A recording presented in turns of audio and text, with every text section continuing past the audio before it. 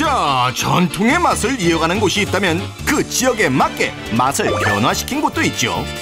너나 할 것 없이 한 손에 쥐고 먹는 이 꼬치가 바로 그 주인공인데요.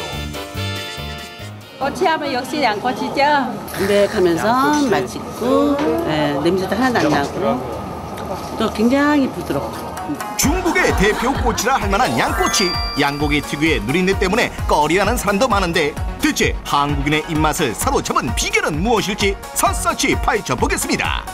첫 번째 비결 양고기. 这是羊羔肉，羊羔肉不膻。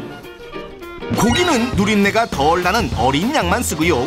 양념도 한국인의 입맛에 딱 맞게 만든다고 하는데요. 믹서기로 달지 않고 즙을 내야만이 고기의 흡수가 잘 되고 그 고기 숯불에서 구웠을 때 고기가 잘 안 타거든요. 이렇게 착즙기로 짜낸 채소와 과일 즙에 소금 그리고 잡내 제거를 위한 강황가루와 고추장을 넣고 섞어주는데요. 잘 섞은 양념은 고기에 붓고 버무린 뒤 숙성을 시켜줍니다. 숙성이 끝난 고기를 꼬치에 끼워주면 누린내 하나 나지 않는 양꼬치가 완성이 되는데요. 여기서 끝이 아닙니다. 까다로운 한국인 입맛 사로잡은 또 하나의 비법이 있다고 하죠. 그것은 바로 바로 바로 이 참숯!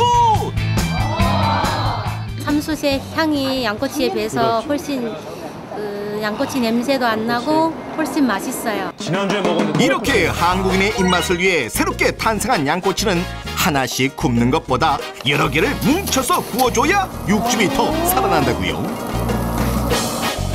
자, 이제 누린내 때문에 못 먹는단 말은 옛말이 되었답니다. 맛있어요. 너무 맛있어요. KBS